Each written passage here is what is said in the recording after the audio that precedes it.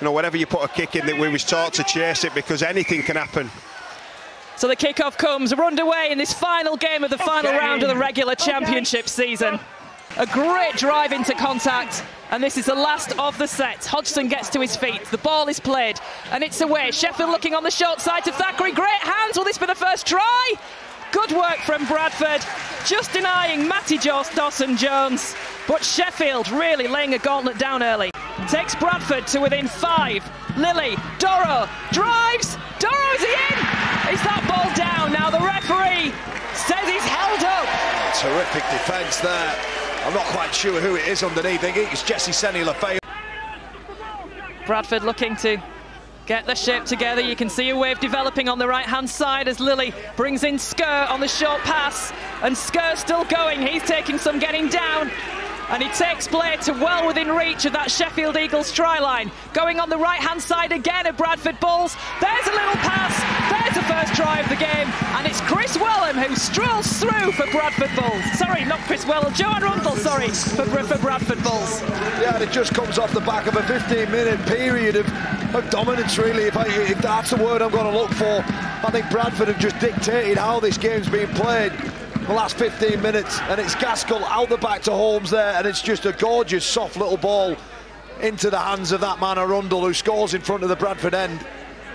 Well, Chester Butler, when we see this on the highlights again, you know what Chester Butler does just outside of number 29, number 12, he just stops Cory Aston long enough that brings in Glover, which gives Arundel a free run to the line. Look, That's just fantastic play. We're just seeing them pitches again there and I don't think Glover's happy with this defensive effort. He almost just looks, he just gives up on that play. He's got to be a bit more committed than that. Will the Eagles hit back? It's Thackeray. Looks to support along the line, finds Aston. This is looking good for Sheffield. And we're through with Quentin Laulu-Togagae. And their pressure has finally paid off. Yeah, and we said they were almost magnetised to this left edge. You know, they've liked what they've seen out there and they had a three-on-one overlap. It's the ball out by, it's Thackeray at first, and it comes to Cory Aston. Aston finds QLT, and then he saw, sums it up so well, the experienced player, and just put the ball down. As we watch it back now, it's the combination of Aston to QLT, and they just can't, they just can't shut him down. Very, very good player. Keeps the ball in two hands, shows the dummy, and gets through Blackmore with ease. Well, from a defensive point of view, from Bradford there, if we see the pictures again, their defensive line. Just look at the total disconnect from them all. There's bodies flying in, and there's an acre of space out wide, and they'll not score an easier try than that for sure. Sene Lefao's in there with the tackle. This is the last of the set for the Bulls. Jowett again. Short pass. Oh. And Bradford through. Oh, it's another forward and pass. again, yeah, disallowed by the referee right on the spot, seeing that one just as Bradford thought they'd gone in front through Chesterbrook. Again, taken safely by Sheffield Eagles, but Bradford certainly peppering that corner.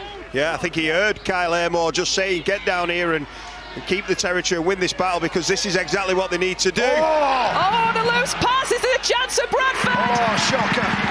And Bradford have scored, taken advantage of that mistake by the Sheffield Eagles. And Bradford are in front again. Well, it's a gift, Sharon, that's what it is.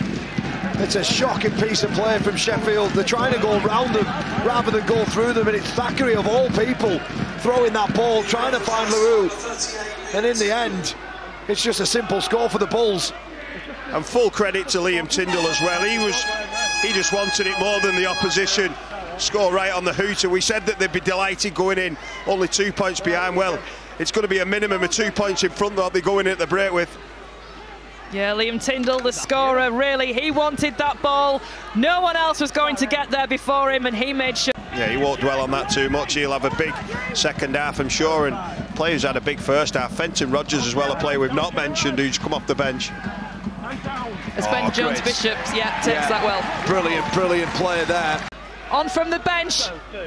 He's a player that can really add extra bite as well for Sheffield, but it's Bradford still moving forward with Rogers. Oh, strong run from the Bradford substitute, taking play again to within five. Short ball, Bradford going for the line. Great work again by oh, Sheffield, but again, somehow that pass came out from Kevin Appo, and Bradford have scored. What a great way to start the second half from the Bulls. Yeah, it's just a brilliant intensity from the Bulls. It started with Scurr, hard carry. Then it's Fenton Rogers with another hard carry. And then guess what? Appo straight away, hard onto that ball, gets the offload away. And it's Lilley who benefits from it. It's just hard carries. Well, the bench have been terrific. Appo's one, Fenton Rogers another, and so is Ebon Scurr. In the middle of the field, they've been causing all sorts of problems. And the offload with three people, someone's got to be, you know, done with the task of holding that ball there. He just pops it out from nowhere. That's a brilliant bit of play. And that's what you get from a great kicking game. Thackeray will have to play the ball. And it's away towards the centre, and again we go with a forward crashing through. Is this a try? The referee's right there. He's saying he's been held up. Held short. Terrific defence once again from the Bulls. So Douglas gets to his feet. The pass goes back to Thackeray, attacking now on the short side again. Ben Jones Bishop does well to take that. And he manages to score from it as well. It looked for all the world like the Bradford defence was going to stop him from getting through, but Ben Jones Bishop the fancy feet do the trick. Yeah, you just said it there, Sharon. The footwork, the balance of that man, Ben Jones Bishop. He's got an awful lot to do when he catches this ball. His experience and his true class. Well, you just have to watch this. Just watch how he stands up there, steps hard, and just finds the ball over the line. Great try there from Ben Jones Bishop, and boy, did they need that. And that just shows how crucial an error is. What we saw from Conor Wynne getting put in touch. The momentum's completely changed now. The complex of the game's completely changed.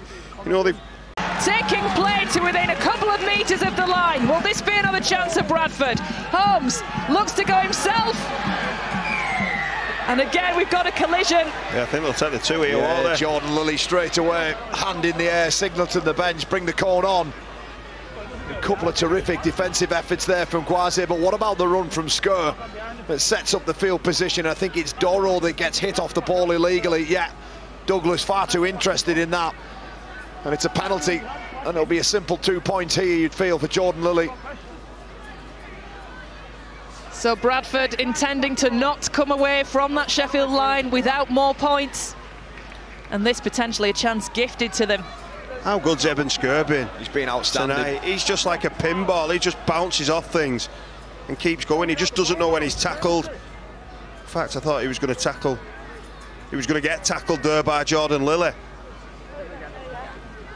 It's the strength. You look at him and you don't expect what you get from Ebon Sharon, he's, he's, one of those small, nuggety kind of players, and they're very, very difficult to handle. They've got that low centre of gravity, but what he has is that willingness and that competitive edge about him just to keep keep fighting, keep moving his legs, keep trying to get those extra yards, and a refusal to be put down. And he's got footwork too, Annie, for a big man.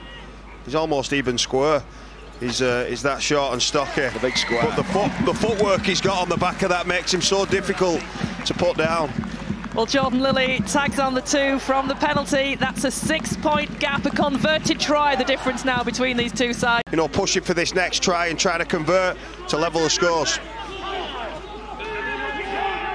So Farrell at acting half. 20 metres out then from the Eagles. A high ball goes to Guaze. Keeping it moving. Thackeray out wide. He's got the support. This looks good for Sheffield Eagles. Going for the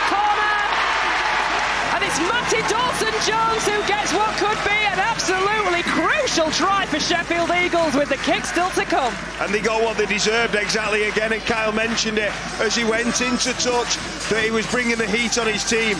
And the play from Guaze to open up Thackeray, and then Jack, uh, Jack Hansen who came up with the final pass. We watch it now, Guaze out the back to Thackeray, and then the man who's really caught my eye tonight, the ball skills, terrific pass to Matty Dawson-Jones, who all but levels the scores. You just see the centre and the winger here, they start backpedaling, and as soon as you do that, you're just inviting the half just to find that cutout ball. But this will be a mammoth effort from Jack Hansen, just in from the touchline, as the wind still swirls around the Olympic Legacy Park. This to level it. Oh, he's close. Just short though. Perhaps one more, maybe an early kick, but not that. Oh, straight to the feet of it's Michael going to be a penalty. Lawrence. Yeah. It's a penalty. Oh, it's a penalty the other way.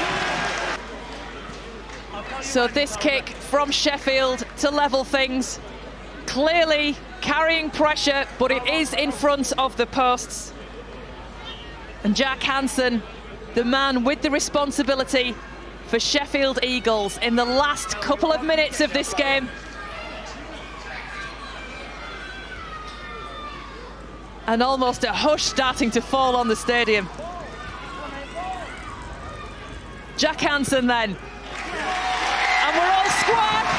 The final minutes of the game and we are all square. Sheffield 16, Bradford 16. Will Bradford get the four points or will it be a drop goal? The players are in space. Here goes Lilley! Oh, he's got, got it. Jordan Lilley gets a vital drop goal for Bradford that puts them back ahead in this game in the dying seconds. They lead 17-16. Never mind a draw, Kyle. That doesn't suit Bradford. They want the win. They want to finish third. And that looks like what they're going to get. But we've seen all night the ball swirl around and come back. He drives forward. Can Sheffield pull something out of the bag and snatch a win or even a draw? Anthony Thackeray, I think, was looking for the drop goal. It wasn't to be, and it's Bradford's night at the Olympic Legacy Park.